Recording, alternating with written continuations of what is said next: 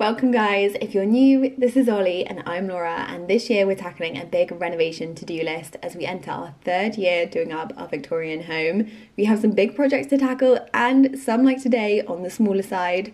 Actually, this one is so small, it's really a cupboard, our Harry Potter cupboard under the stairs. I really hope you guys aren't claustrophobic. This video is also sponsored by the wonderful Squarespace who I'll chat more about later on. Hey guys, welcome back to my channel. I hope that you're all well. Sit back and relax because today's video is going to be a makeover. A makeover of our understairs cupboard, our cupboard of doom, our Harry Potter cupboard, and certainly the place where things go to never be seen again. I'm a little bit embarrassed to show you the before, but it was basically a space that we were totally underutilizing. It was full of rubbish. The only place where you could put things was on the floor. So naturally everything just gravitated to the floor and started stacking up. We couldn't find anything, we couldn't use it usefully. And then what started to happen is stuff just started trickling throughout the house. So our coats would get left on the banisters or on the stairs or in the hallway instead of going somewhere useful. So the aim is to turn this space into a beautiful, fresh area where we can come in, dump our coats, dump our shoes, place the hoover and things that are useful to us, hopefully in a much more practical way. So let's get in and start it.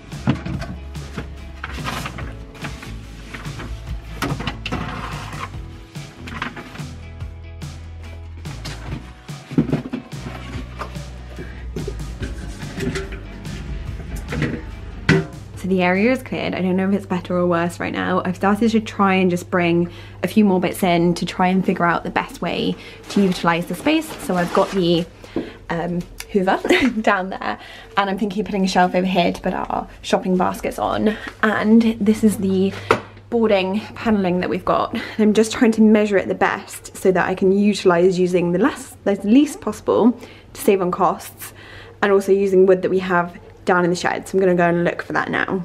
This is quite fun actually. We're shopping our shed. I'm enjoying it. It's got this laminate flooring left over, or vinyl flooring left over from our bathroom. Um, we've got these, which may seem a bit weird, but I'm wondering whether we can bodge together that paneling. And Ol's also looking at the shelving that he picked up for, oh, it's, yeah, like pennies, wasn't it, literally for it. So hopefully, with the combination of stuff that we have in here, we can pull something together but now you know why I keep every scrap of wood. And that is why it is looking like this in here. so we're shopping shed number two and we've also got this flooring from one of our spare rooms. We're wondering whether that might go in there because the laminate looks a little bit small. However, that's it's more of a task. We've got to put underlay under and it goes a bit higher. no? Chuck it in. Chuck it we've in. Got, I mean, we've got underlay there. We've got to cut it. Like the vinyl would be easier. Let's see if it fits. And that's option B. It's a good option, option B. B though. And so here is my supercharged sketch that I did. I always do it whilst standing next to the room. Um, and I always write down the things that I absolutely need and want. So I still want to keep coats in there, shoes, which we don't actually store in there at all, umbrellas, uh, my picnic box, shopping bags, and perhaps paints. So this is where the door will be and I want to put two shelves for shoes, hooks, as I said, the new light, and then I want to put some big baskets down here that can take like picnic blankets or just be like a catch-all for umbrellas or any other bits like that. I want to hopefully keep everything off the floor. I don't want to put anything on the floor over here. And then I want to kind of box it in because this, this space is just a little bit useless for us. And then put some deep shelving in the back here. So for bits like paints, um, just other storage, and hopefully I'm hoping my picnic basket will go up there too.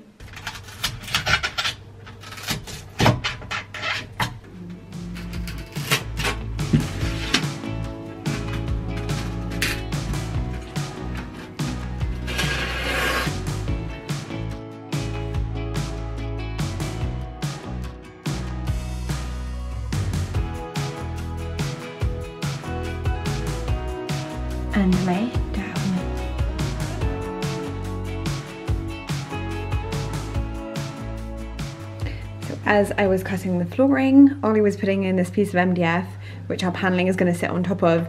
We had this in the shed, so this is just like kind of hopefully a money saving way of making sure, because the paneling is quite expensive.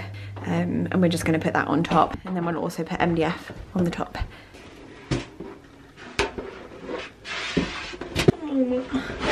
Let me, you,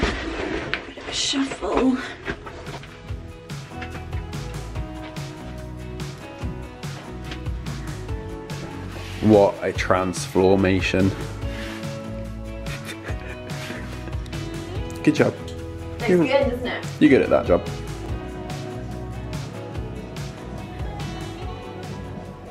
We've just popped in that one and put a support here for a shelf going across and then also cut this one down so that hopefully these two should fit nicely along this wall and hide this terrible stuff here.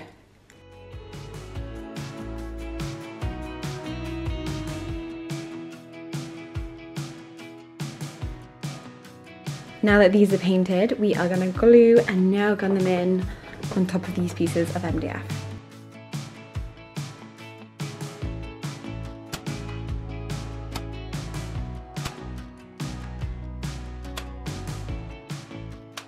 We are boarded at the bottom now and at the top and we've got some odd shaped ones going on here but this is cost saving because we really only wanted to buy three of these boards. Now we're just figuring out where the hooks are going, what bit of wood they're going on. We've just been down to the shed to get this and Ollie is demanding that his coat must be the one that we pick the height off of. It's the tallest coat.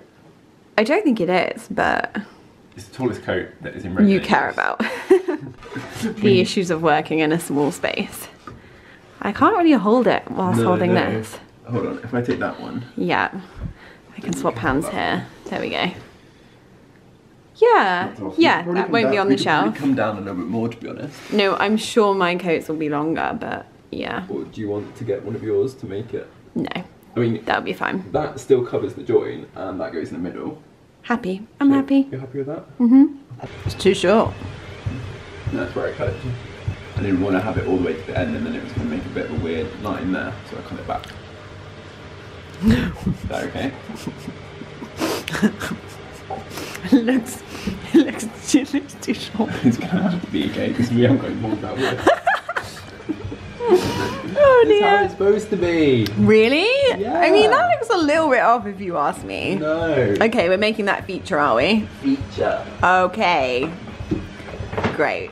I just wanted to pop in to say a huge thank you to today's sponsor, Squarespace. If you're new around here, then Squarespace is the all-in-one platform where you can create a website. Their platform is unbelievably user-friendly, so if you have no tech experience like I do, you will be able to make your own website and maintain it without having to get in any additional help, which is amazing because it makes it extremely personal to you, but also you can keep it much more up to date because you can go into the back end and change it and update it whenever you would like.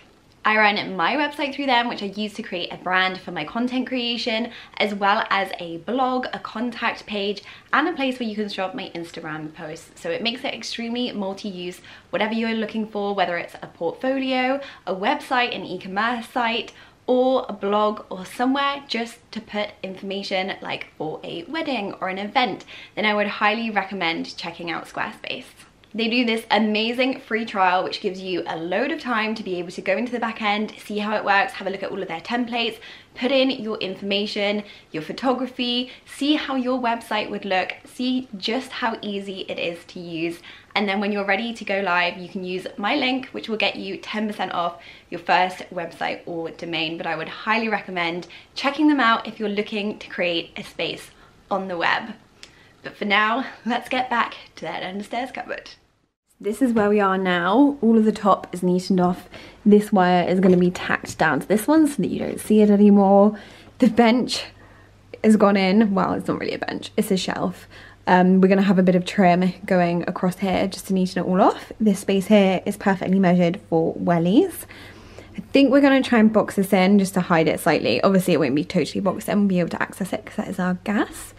And then over here, in the more creepier corner, we're also going to be putting a shelf over there. So our hoover can go under here. um, storage and bags and stuff can go in here. And then we can also put stuff at the top here, hopefully shopping bags and stuff. So my job today is to tackle the sloping roof, hopefully make it look a little bit prettier. Saving time and money, we didn't want to take it down. So I'm literally just gonna use this plaster to slap over it and hopefully make it look a little bit more straight. It's not gonna be perfect, but it'll definitely be better.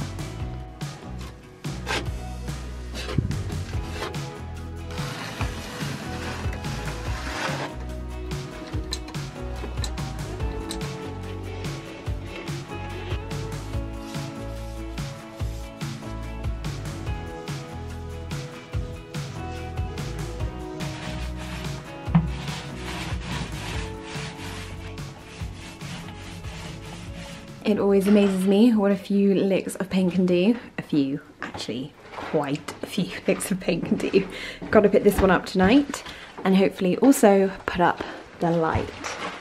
We're using these magnet, like magnetic pulls, would you call them? no, they're just mechanical fastenings. They're called ah. button fixes, but they are really, really good.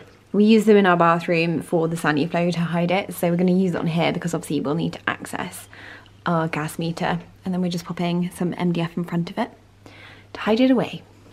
I'm trying to cook dinner. Ollie has turned the lights off for everything. He's got his phone here to give a little bit of light, but it's up. It's not yet wired in, but that is the plan now, hopefully. Anyway, I need to get back to this. Wow, it's really dark. Moment of truth. Dinner's ready. Perfect timing. Dun, dun, dun, dun. I mean, the bulb is terrible. I thought it didn't work to start. it's working, but the bulb is terrible. So we put this little switchy switch on here, which means that when the door closes, it'll automatically turn it off and on. Uh, obviously, we're going to be neatening this up, but the wires that were hanging have gone. Tomorrow I need to get a new bulb, because that ain't going to work, is it? Terrible. Bit Oh, well. climax, isn't it? It looks pretty though. It does look nice. Actually, it's really nice in there with the panelling and the Yeah. light coming down on it. Okay, now we can eat. It is the most beautiful sunny day today. As you can see, before 10 days, pretty much rain. I'm spending it here. The best place to spend a really sunny day. The only annoying thing now that the electrics are done is that I can't turn off the light. It always stays on. So the lighting's gonna be really orange, whereas it adjusts quite nicely when the light's off. It's gonna take time. You see it looks like a normal room without the light on, but we're gonna have to go with super orangey today. Last little bit to do, I need to neaten this, paint this, paint this bit down here, which is the box hiding the gas, and then I can actually get everything back in here. Hooks need to go on, shoe solutions need to go on. Because the aim is obviously to make the most of the storage, I've got some cool shoe storage things from Amazon and we're gonna be hanging a lot from the walls this time so that hopefully stuff doesn't get collected on the floor anymore. Don't hold me to that though. And probably the best thing about renovating in this space is that we have these hinges that you can just take off so we don't have to have this annoying door in the hallway.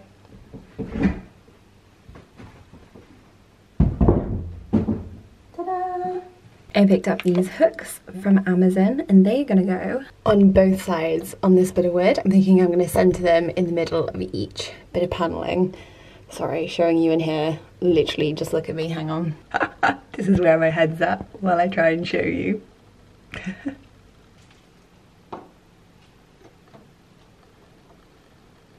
I'm definitely measuring to see that that's exactly in the middle of there. But doing it by eye is just as good. Now, I need to find a bigger head, smaller head, smaller head. Got a teeny tiny one on there now. I don't know if you can see that. Hopefully this will work. Come on. Are you serious?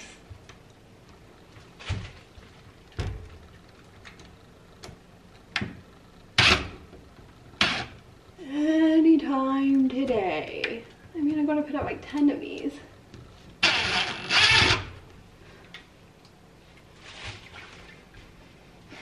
Testing my patience. Okay, Let's use all our might. Okay. Yes! Okay. We have one in. That wasn't the most successful, but you know. It's in. It's a little bit later. I've been off to the shops because I'm gonna do a DIY that I wasn't expecting to do, but it's an area that I am just not loving in here. So I think it's partly because the light's just gone up. I knew this wall wasn't gonna be amazing, but it's bugging me. I know it's fine, but I'm gonna cover it up. Now what I've decided is that I'm gonna do a memo board over here because there's often points where Ollie and I um, have like a delivery slip that we need to put in here. We also have permit parking, um, visitor slips, and little bits like that that I think would be really useful. And it actually utilises this space quite well and hopefully will hide it too. Now I tried to find a ready-made one, but of course there were none about when I wanted one. So instead, I popped it on Elm. I picked up some foam. I'm gonna do it fabric because I think I need it to be quite flexible for that wall because it's not perfectly straight. I've got some leftover fabric here that I'm going to cover this with and I've just been to the shed to find some wood. So I've decided on a size. I'm going to cut it out, see what it looks like. I've got the staple gun to hopefully staple it all together. And somewhere in this house, I know I have some like hessian ribbon, so I'm going to use that around it too. Hopefully. This is literally on a whim, this DIY, so let's hope that it turns out and looks good. If not, um, you probably won't see it in the final reveal.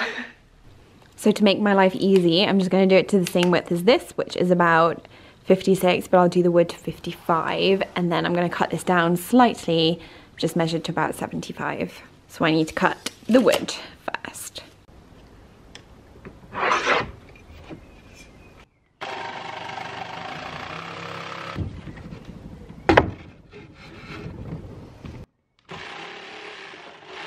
Not a bad fit really. I wanted a little bit of a lip, hopefully so that the fabric curves around the edge slightly.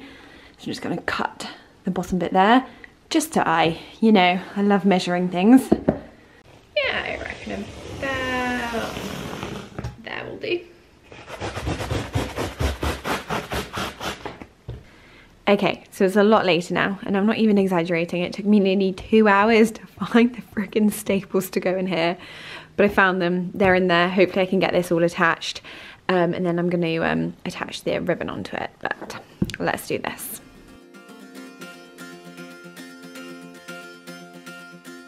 So I definitely could have done that a little bit neater perhaps, but it's on, it looks good. I hope it looks better up on the wall and it doesn't look too thick. Um, but now I'm gonna put this hessian across it so that we can actually put things on it and then I'm literally just gonna staple these in exactly like that on the back. Ta-da! I did it. I mean, if I hadn't have not been able to find the staples, this would have taken a matter of a few minutes. Now we can pop things in, keep them safe underneath the stairs, bits of paper that we might need, and also it hides that wall. Now, let's see how it actually looks in situ. I am gonna have to find a way of attaching it to the ceiling because obviously um, it's on a bit of a slant.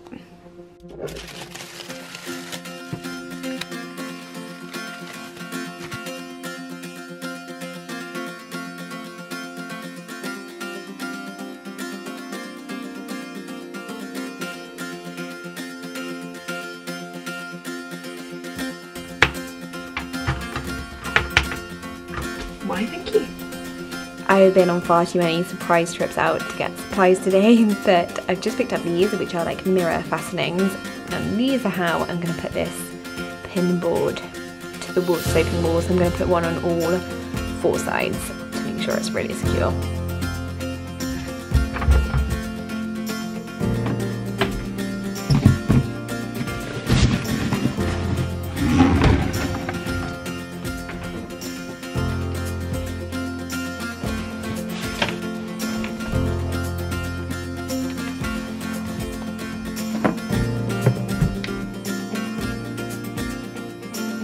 So just a few days ago, this is what it was looking like, and this is what it looks like now.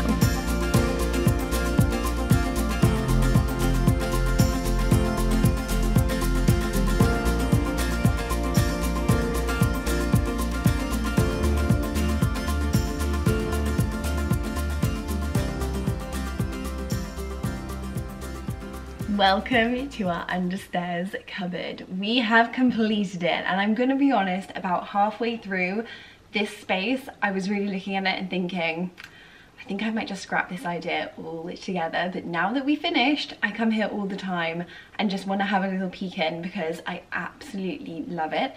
And honestly, how much it has changed our life when I used to come to the understairs cupboard and it was just full of a mess, you couldn't find anything. I, as a person, just suddenly felt so disorganized and really stressed when I was leaving to like go out the house or coming back from the house or just trying to find the hoover. Now when I come to this space, I actually feel zen. I feel ready to leave the door. It makes me feel so much more calm and I think we really underutilize these spaces in the house that are so important for storage and you go to every single day to use. And sometimes when they're not seen or they're not a room, you don't feel like putting that effort in, but it has been so worth it. Let me show you around. Okay, so just to remind you, this is where the cupboard is. It's underneath our beautiful Victorian staircase here. And it's just a tiny cupboard. And now when you open it up, it looks like this.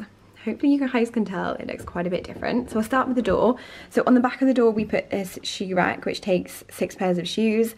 I imagine this being a bit bigger, so I actually think now I'm gonna put probably also some baskets up here just to be able to catch some extra things. Making use of a door in this kind of space is amazing because it means that you can hopefully keep some space on the floor so that you can actually walk in and be able to get around the corner. So yes, going to be using this a little bit more, but obviously we can't do anything on this side because we also have the shoes down here and these are great. So this is Ollie's one and this is for our everyday shoes but when they're not in use they just lie flat which is really nice. They come in a pack of four but we've only been able to utilize two in here so far. And then we have our wellies. It would be great if we could get these outside but for now this is the best place for them. And then turning the corner we have our hoover. We have a basket down here which is like a catch-all for things like hoover bags and bits like that. I have some paint that I still need to get off the floor and then we have the um, shopping bags. I love having these here, just being able to grab them and then push them right back in. Hashtag priorities. Our picnic ba basket, which obviously in the winter I'll probably change this out and um, maybe put a basket with gloves and hats and things in. But we do love picnicking, so that's there for now. And then the memo board, which I feel like was the best idea. Obviously hid the wall and it was not looking pretty. It really put me off the space. It makes the space feel way more homely and just a little bit more designed, but actually it's really useful, like more useful than I thought it would be. Obviously for now, we don't have the usual things that we'd have on here because most of the stuff that we'd put on here has our information. So delivery slips, parking tickets, maybe some mail or something that we need to put in here. And because we come in here every day to grab our coat and shoes, it is something that we actually see every day, but it's outside. As in, you can like visually see it, so it's not tucked away, but it's also in a cupboard, so it's not out in the house. Over here, we have this cute basket, which we're gonna put all of our umbrellas in. In the UK, you absolutely need umbrellas. We got all of these hooks from Amazon too. The wiring was something that we couldn't do perfectly because unfortunately in here, there are just if I can take you around, so many different wires um, and Ollie did his absolute best, but it definitely got it out of the way. This light we got for free because it was faulty. I don't know if you guys remember that, but yeah, that was a real bargain.